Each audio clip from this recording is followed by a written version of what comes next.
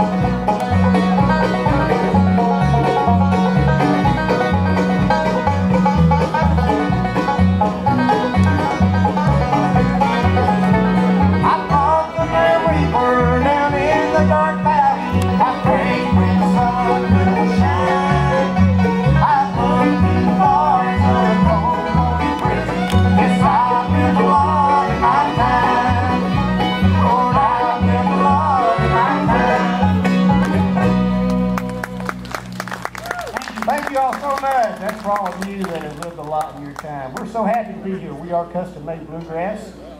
And uh, I'll tell you what, what a beautiful day.